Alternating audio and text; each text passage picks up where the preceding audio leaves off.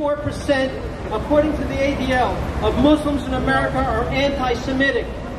It pains me and frightens me to say that Muslim imams around the country, in North Carolina, New Jersey, California, Texas, Pennsylvania, and elsewhere, have been videotaped preaching the genocidal Quranic hadith, which is repeated in the Hamas charter.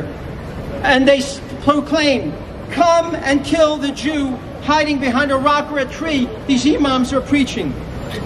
These Muslim imams accuse Jews of being Nazis and fascists. They, they demand to cleanse the Temple Mount of the filth of the Jews, say these imams.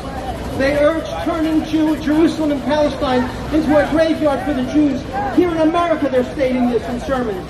From every committee, Rashida Tlaib and AOC and Ilhan Omar, throw them off of every committee, just like the Republicans threw Stephen King off every committee.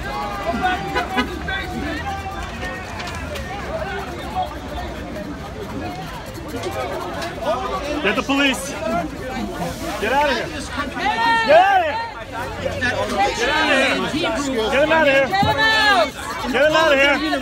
Antifa, get out of here. Madison, the president, Get out of here. No, you're not. You're Aaron Ross. You're Aaron Ross. Columbia. Involved with the Jews of the J Street, get out of here. Moses Get him out of here. that almost became the symbol of America. And who designed this emblem? Thomas Jefferson and Benjamin Franklin.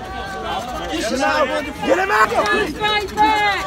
Jews fight back! Jews fight back! Jews fight back! Jews fight back! Jews fight back! Jews fight back! Against Jews! Jews fight back! Against Jews! Jews fight back! Jews fight back! Jews fight back! Jews fight back! Jews fight back! Jews fight back! Jews